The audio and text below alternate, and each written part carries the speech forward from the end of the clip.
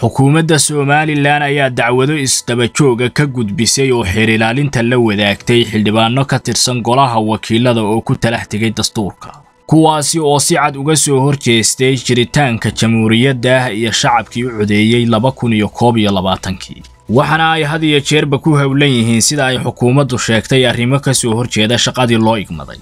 dacwadoodana waxaa qaadi doonta xeer ilaalinta qaranka maadaama oo ay caadaysteen falal ka soo horjeeda jiritaanka somalilan iyo midnimadeeda. Warbixinteennan oo ah dabagalka siyaasadda ayaynuna ku qaadaa dhigi doonaa magacyadooda iyo falalka ay ku kaceen. Waxa kow ka ah xildhibaan golaha wakiilada ka tirsan oo laga soo doorto gobolka sool cabdirasaaq khaliif axmed oo ahaa guddoomiyihii loo doortay golahaasi loolanka adag ku soo baxay laba kun iyo koob iyo labaatankii hase yeeshee lumiyey kalsoonidii ay siiyeen xildhibaanadu. Cabdirasaaq khaliif oo ahaa ninka saddexaad ee ugu awooda badan somalilan ayaa wakhtigan xaadirka ah ay uga dhammaatay somalilan waxaana ay xildhibaanada badigoodu diyaarinayaan mooshin ka dhan ah oo xilka lagaga xayuubinayo kaasi oo uu ku waayi doono xubinnimadii xildhibaanka iyo sida oo kale guddoomiyihiiba khaliif ayaa in door ah ku soo jiray siyaasadda somalilan inkasta oo uu lababoglaynayay hase yeeshee wakhtigan waxa siyaasadda ka aroosan magaalada laascaanood ay soo bandhigtay. Shakhsiyaddiisa dhabta ah taasi oo ay shacabka jamhuuriyadda somalilan oo dhammi ka wada war heleen.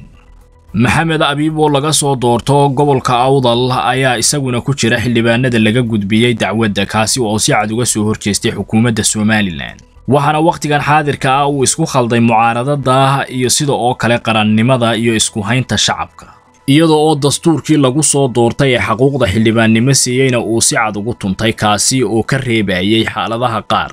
Waxaana wakhtigan xaadirka ah uu ku howlan yahay sida ilawareedyadu noo xaqiijiyeen gobolka awdal inuu ka sameeyo kacdoonno la mid ah kuwii laascaanood ka dhacay xildhibaan axmed khaliif ayaa isaguna ku jira oo laga soo doorto galbeedka gobolka sool kaasi oo si weyn ugu kacay falal sharci jebin ah kuwaasi oo ka soo horjeeda mucaaradnimada iyo jiritaanka jamhuuriyadda somalilan oo dibadda ka ah. Iyadoo loo haystay hadallo waxba kama jiraana oo uu madaxweyne muuse biixi cabdi warbaahinta u mariyey ayaa waxa uu si weyn uga qayb qaadanayay xiisadda magaalada laascaanood ee xarunta gobolka sool waxaana uu xidhiidh hoose la lahaa cabdirasaaq khaliif axmed oo ah guddoomiyaha debadmeerka ah ee iminka xilka qaadistiisu miiska saaran tahay.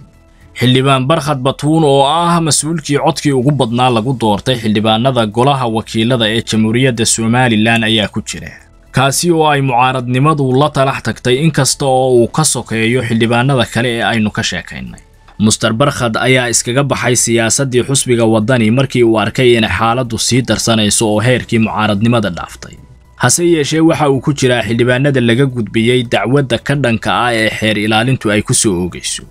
shacabka oo su'aalo badan iska weydiiyey doorashadii degdega ahayd ee ay xildhibaanada dhallinyarada ah ku soo doorteen laba kun iyo koob iyo labaatan